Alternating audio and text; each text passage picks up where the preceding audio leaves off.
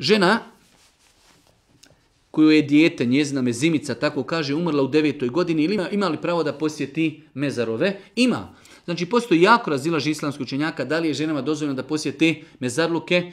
Ja sam lično stava da nema smetnje da žena posjeti mezarluke, samo na ispravan šerijatski način, da ne radi prilikom posjete ništa što je zabrajeno. Žene su više emotivne i da ne dopusti žena, ne daj Bože da počne naricati, čupati, e, drečati, plakati, vrištati i tako dalje. Ali da žena dođe, hajde da kažemo, na lijep islamski način, da posjeti kabur svoga djeteta, svoga oca, svoga brata, da prouči za njega dovu, da se prisjeti smrti, nema u tome ako Bog da ništa, ništa loše. Samo je bitno znači da žena pazi na svoje ponašanje prilikom posjeti mezaristanima.